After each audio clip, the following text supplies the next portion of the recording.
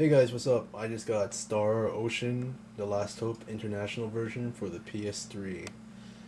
Now, you know, it's been what a year ever since the 360 version came out.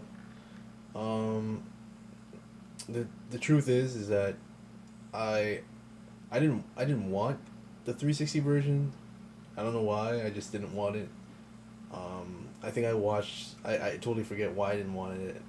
I, I watched some videos on YouTube of Star Ocean on the 360, and the English voice acting wasn't really that good. And I'm in a, you know, a film slash media uh, course at at college, and uh, you know when the audio isn't good, uh, it, it just totally withdraws you from the experience. So I got the PS3 version with which has the what the the Japanese audio. Yeah, so it has a Japanese audio.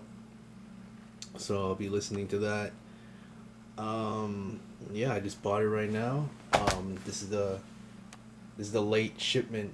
Uh, everybody else got it on time yesterday, but uh, it was delayed because the shipments weren't right in in Canada. I just got this right now. So this is the Canadian shipment right here. I know it's a day late, so I'm about to open it right now. There's probably another video like this, but you know, you're just watching mine, so let's see. Let's open this up. Knife here.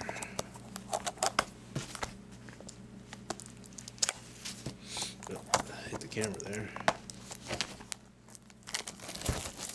Take the plastic off.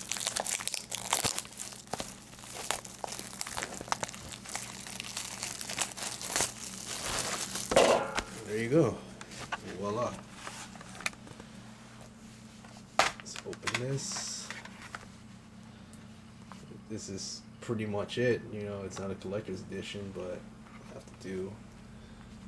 You know, on the 360 version, there was there's like three discs, right? But since it's on PS3, obviously one disc. You know, Blu-ray, right there. You got the manual.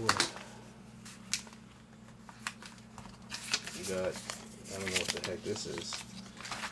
Yeah, you got the manual. And uh, this is a French one. Got the English manual right here.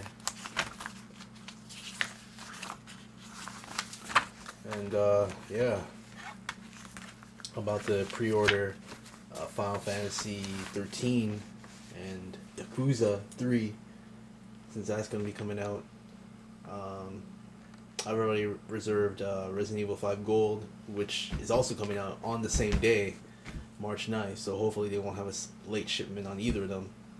So, uh, yeah, that's my unboxing. That's pretty much all you get from the game, because there's no limited edition. They just added new editions like uh, voice and uh, Japanese voice and uh, selectable characters or whatever.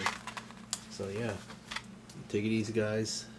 I'll I'll try to get a review out sometime on this. I'm trying to get reviews out, but if the college strike does happen, then I'll probably re- be reviewing a lot of games. But yeah, take it easy, guys. See you later.